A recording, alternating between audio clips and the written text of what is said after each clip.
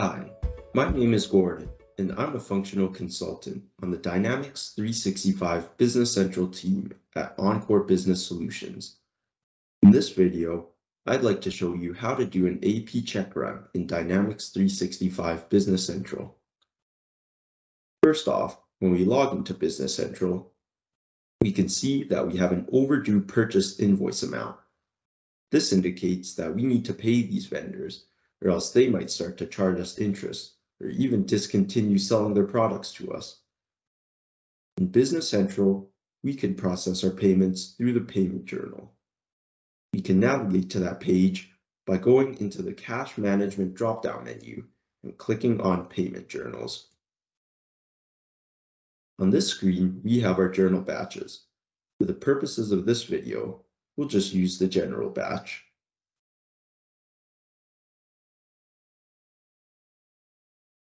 Here on our first line, we can manually look up a vendor.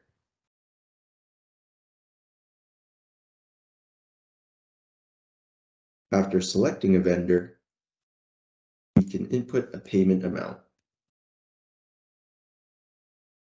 Next, we can select how we're paying. So we'll pay through our bank account.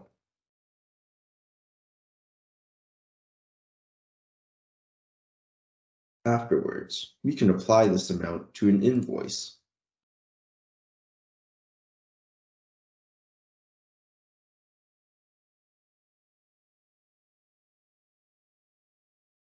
Here, we'll apply it to this invoice with a remaining amount of $100.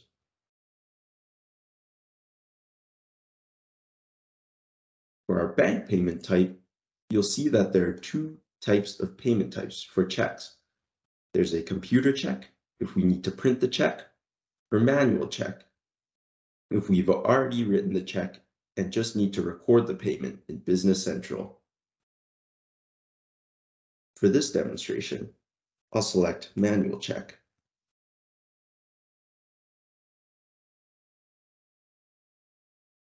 After we've selected a payment type, we can go ahead and post our payment.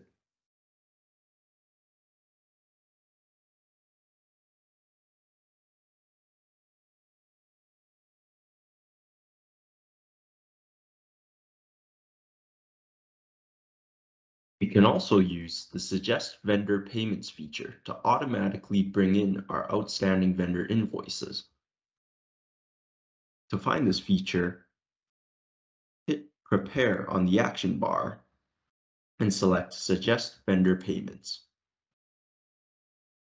This feature finds payments based on the last payment date, or in other words, the payment due date.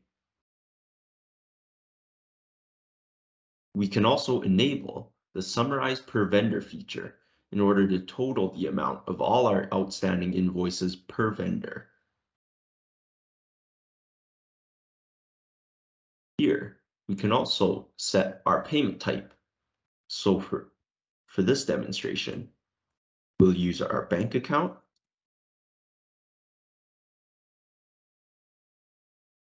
and we'll set the payment type to computer check this time. Here, we can also add filters. So if you only wanted to suggest vendor payments for a certain vendor, we could filter to that vendor as well. For this demonstration, I'll just suggest the vendor payments for all our, our vendors. Now we've created our suggested vendor payment lines.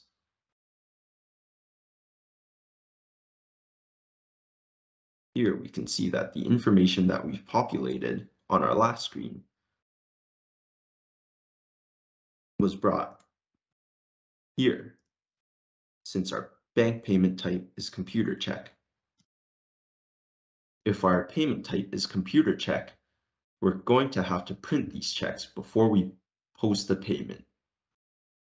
To print a check, click on check in our action bar then print check. Here, we'll select our bank account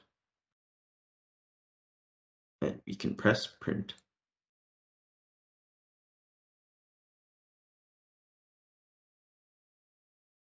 Here, our print preview shows up with our five different checks to our five different vendors.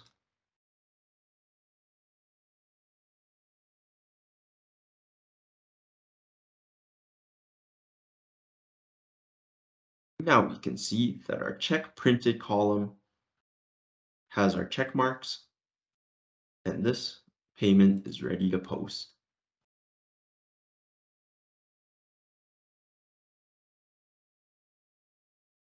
This concludes how to do an AP check run in Dynamics 365 Business Central. Please contact us if you have any questions.